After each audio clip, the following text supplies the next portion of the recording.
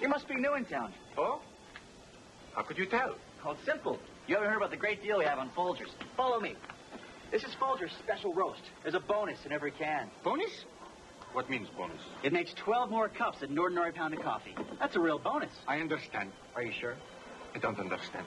Folgers Special Roast uses mountain-grown beans. Rich and aromatic. Smells good, too. and it's roasted and ground in a special way, so you use less.